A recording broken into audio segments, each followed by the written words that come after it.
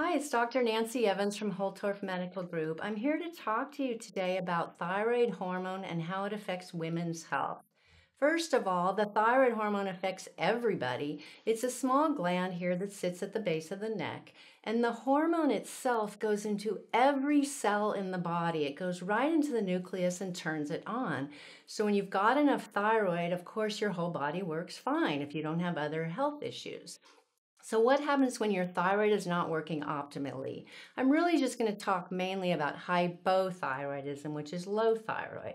So, it means you have a deficiency. So, it's as if you have 100 rooms in your house and you only have 50 keys. So, what is the body going to do in that case? It's going to preserve your function and keep you in survival mode. It's going to keep your heart running and it's going to keep you breathing and keep you alive. But we're going to have a whole subset of symptoms that are going to lower your optimal health. We're going to see cold hands, dry skin, hair loss, drier hair, and hair loss. We're going to see the metabolism shut down. And what does that mean? We'll see constipation, we'll see fatigue, we'll see you not absorbing your food correctly, and of course, weight gain. That's the big one that a lot of women see concerns about. And we're going to see just this overall fatigue.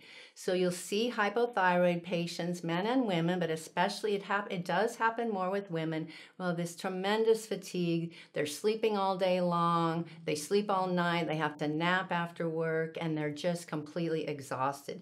And if you think about it, it's because the body is trying to just preserve this energy. So it says, put you to sleep, and then you can survive a long time. Great for survival horrible for any kind of thriving, right? You couldn't run a business, raise your family, um, you know, be an athlete or anything like that because thyroid is so central to your functioning.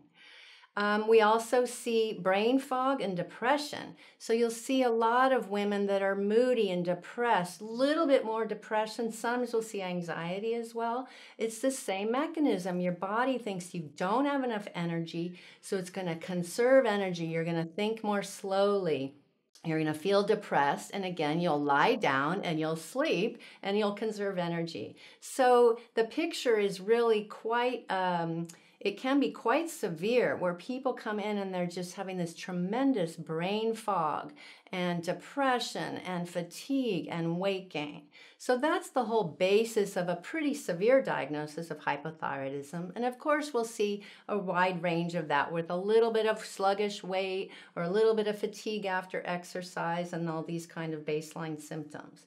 Then we see it really affecting the menstrual cycles. Thyroid does have to do with uh, puberty, so we'll sometimes see delayed puberty. So if you've got a teenage daughter and she still hasn't gotten her period, it might be because her thyroid is low. And especially if you start seeing weight gain, then that can also have some issues and it can be part of what's going on with hypothyroidism. Then we'll see in younger patients in their 20s, we'll see just irregular periods. Initially, if it's if the thyroid is low, as I said, we'll see delayed onset of puberty, and then we might see oligomenorrhea. So maybe someone um, only gets a period once every few months, or maybe a couple times a year before they really start to kick in and be regular. That is fairly regular for puberty, but it also can be uh, a symptom of hypothyroidism if it goes on for too long. So that means that the woman is not ovulating every cycle, so she's not developing this healthy hormonal cycles. So uh, I'll have a lot of patients come in. They'll either have like fewer cycles like that.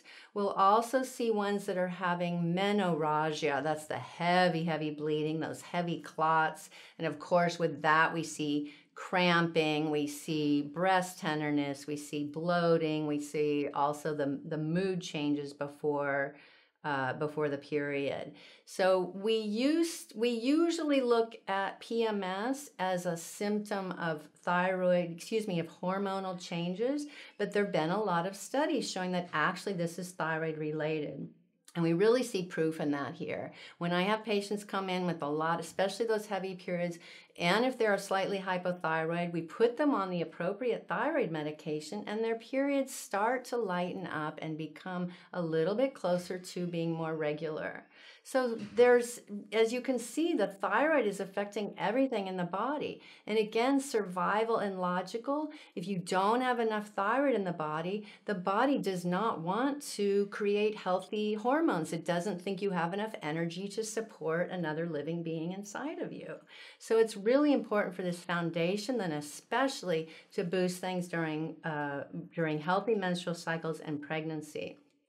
During pregnancy, uh, the T4, which is the main thyroid hormone, there usually is about a 50% increase in need of T4 during pregnancy. So, a lot of women aren't even diagnosed with hypothyroidism until they become pregnant, when they start checking their levels and they find that they're, they're low, and then that's going to affect fetal development. So, this is very, very important. And then what causes all these, if there are irregular pregnancies, we'll see this with hypothyroidism, same reason. The body doesn't have enough energy. And so we'll see um, um, we'll see pregnancies that, that don't hold. We'll see higher miscarriage. One of the main uh, causes of miscarriage also is Hashimoto's thyroiditis. So that's a subset of low thyroid. It has an autoimmune component to it.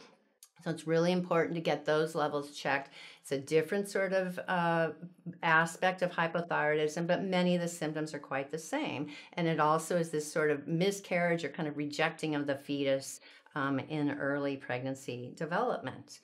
Um, usually during pregnancy, we do have to take, if someone is already on thyroid medication, we will have to take their doses up again to just support this new life um, for pregnancy. So it's a really good idea before you get pregnant to get a full thyroid panel. Your gynecologist or your OB will usually check the TSH, but that's not the only test to do, especially if you're symptomatic. So there's a lot of discussion about what tests to order. So I'll run through those fairly quickly and just talk about how you can start seeing whether your thyroid is healthy enough for you to develop and have a happy, happy, healthy life as a young 20 something, or if you're going to get pregnant or, or if you're not. Um, the, you should get your lab test drawn. We have a full panel that we recommend. So TSH, and then there's that just checks the brain sort of um, oversight of the thyroid, but you really have to check the actual levels of thyroid hormone. So you've got T4, T3. There's another test called reverse T3, which is really just fine tuning your levels.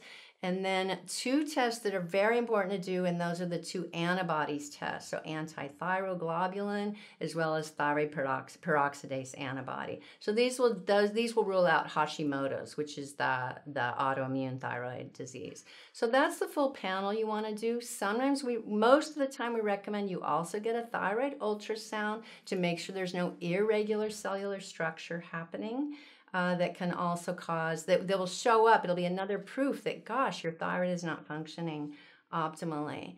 Um, we also see thyroid disorders kind of show up with with 40 and 50 year olds too. It's just a general decline of thyroid and maybe other functions in the body. So that's another good time to get your thyroid checked, especially for women. If you start having menopausal symptoms, having more fatigue, we'll see that fatigue and the weight gain during menopausal time. Sometimes thyroid hormone really just needs to be optimized. So that's about it for thyroid hormones. It's essential that it's working properly because it goes into right into the nucleus of the cell. If you don't have enough, you really, it's like running your car with an empty gas tank. So make sure you get those checked, especially if you're younger and you're having these irregular periods or you're thinking about getting pregnant. You want to make sure you're as robust as you can in order to uh, have a healthy pregnancy. So thank you very much.